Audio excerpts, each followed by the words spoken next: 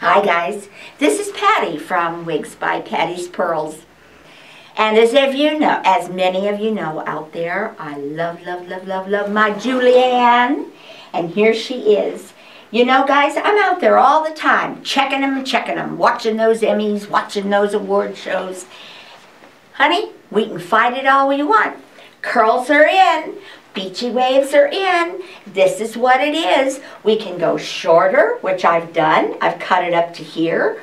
We can go here. We can go longer with the Heidi. We can get all different lengths for you so it'll fit everybody's face shape. But oh my God, if you show up in a Julianne in this chocolate cherry, wow, you got to be really, not brave, but confident to wear it because it's a drop dead look. It's like, whoa, this is the cherry. And the cherry color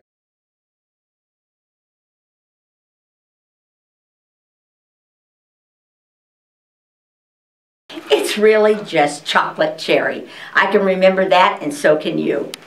But look at the colors. Look how it blends. It goes all the way in.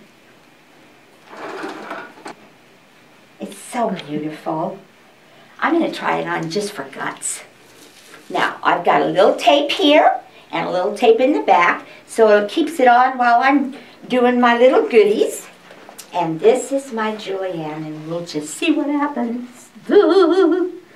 I've not had this color on before, guys, but you know I'm gutsy ball. Z. Here we go.